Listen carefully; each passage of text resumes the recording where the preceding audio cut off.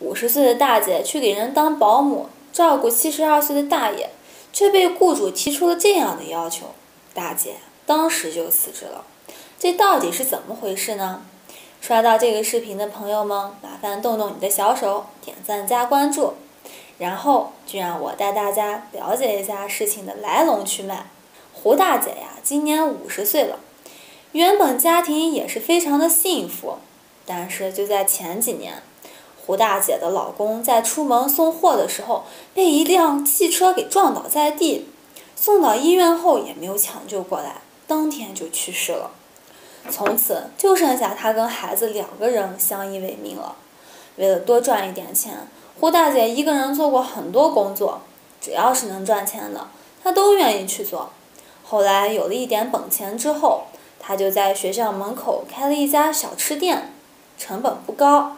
但是利润却非常的可观，就这样，他养活了他和儿子两个人。后来儿子顺利的毕业工作，谈了一个女朋友，胡大姐就想着赶紧给儿子把亲事定下来。但是女方嫌弃他儿子是单亲家庭，条件又不太好，就一直不同意这门婚事，还要求儿子要买一套房子。后来。为了给儿子买房，他就把小吃店给转了出去。给儿子买了新房后，他又跑去给儿子的女朋友说：“虽然他家条件不好，但是他和儿子都是真心喜欢他的。等他嫁过来，他啥也不用管，啥也不用干，生了孩子，胡大姐就帮他带。就这样，女孩回家说服了自己的父母，她父母也就勉强的同意了。两个人结婚之后。”胡大姐就像当初承诺的那样，每天照顾他们小两口的生活起居。就这样，结婚一年多之后，胡大姐迎来了自己的小孙子。她的小孙子出生之后，胡大姐更是百般的呵护，对这个小孙子是特别的好，而且照顾媳妇也是尽心尽力，一家人也是过得和和美美的。时间过得很快，小孙子已经三岁了，上幼儿园了。胡大姐也是一个闲不住的人，就想着再找一份工作。正好胡大姐认识一个大姐，大姐干保姆很多年了，认识的人也很多，很快就帮胡大姐也找了一个保姆的活儿，就是给一户人家的老人每天做做饭、打扫打扫卫生，其他的都不用胡大姐管。剩下的时间里，胡大姐想干什么就干什么。当时胡大姐来到了雇主家。看到雇主家好大，需要给做饭的是一个七十二岁的老爷子。老爷子身体还行，就是腿脚不太利索，所以呀，就请胡大姐过来帮忙照顾一下。但又因为胡大姐没有这方面的工作经验，工资就暂定三千元。后面如果干得好的话，可以再加。胡大姐想着，反正闲着也是闲着，而且离家也近，时间也宽裕。接送孙子也不成问题，就没有想那么多，便答应了。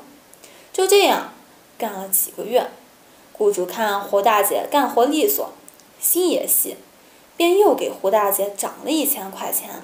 加了工资之后呀，胡大姐就心里很是开心，每天做事就更加细心了，都会按照雇主的要求去做她喜欢吃的菜。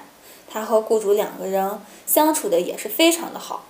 在照顾老爷子有半年的时候呀，老爷子的儿子却因为工作的原因，便和儿媳妇带着娃娃住了回来，孩子也就在附近开始上学了。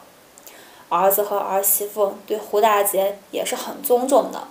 后来慢慢的，每到周末，胡大姐就会感到自己的工作量很大，因为吃饭的人多了，她要做的很多饭，又加上老爷子吃不了辣。得还得分开做，而且老爷子的小孙子一到周末满屋子的跑，导致胡大姐前脚收拾好屋子，后脚就又乱了，无形之中就增加了很多工作，这让胡大姐每天忙的是不可开交，有的时候都不能按时回家。但是胡大姐也从来没有提过加工资的要求。有一天正值周六，是自己小孙子的生日。胡大姐就请了假，回家陪小孙子过生日。平时也没有时间好好的陪伴他。晚上他在家刚开始要吃饭的时候，就接到了老爷子儿子打来的电话，说老爷子下楼的时候没有注意，一不小心就直接滑倒了。当时家里面没有人，还是邻居听到声音把老爷子送到医院的。现在他和媳妇儿都没有空过去照顾，想让胡大姐赶快去医院照顾一下。胡大姐当时一听，心里虽然有一点点的不开心，但也担心老爷子没有人照顾，便连晚饭都没有吃完就直接走了。走的时候，小孙子一脸的不高兴，儿媳妇虽然嘴上没有说什么，但脸色也不大好。胡大姐自己的心里也很是难受。但是老爷子在医院，他也不能不管呀。结果，老爷子这一摔，就彻底起不来床了，这辈子可能就要躺在床上了，无时无刻都需要人照顾。当时胡大姐就提出辞职，可是老爷子的儿子却表示，一时半会也找不到合适的人选，就请胡大姐先帮忙照顾，每个月会给胡大姐再加两千元。胡大姐听完表示，即便是加了钱，她也是希望可以尽快找人接手她的工作，因为儿媳妇已经对她不满意了，自己天天忙着照顾别人，自己的孙子天天回家连饭都吃不上。老爷子的儿子当时表示会尽快找人，可是时间一天天的过去了，好像把这个事情忘记了一样。胡大姐感觉她每天都要快累成狗了。因为每天除了要做饭之外，工作更多了一些。